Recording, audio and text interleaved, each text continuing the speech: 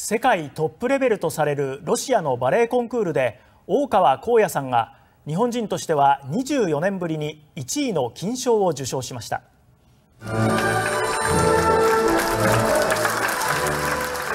4年に一度開かれるモスクワ国際バレエコンクールで青森県出身の大川幸也さんが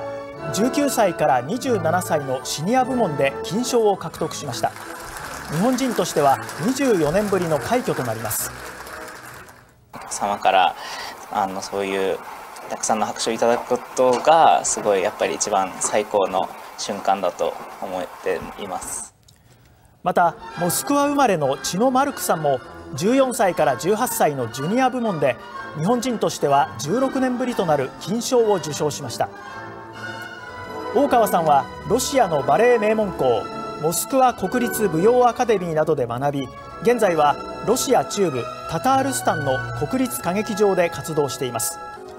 日本人では大川さんとデュエットを踊った寺田みどりさんも銅賞を受賞しました。